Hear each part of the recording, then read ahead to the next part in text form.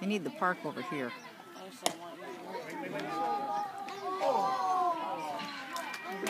What do you call that?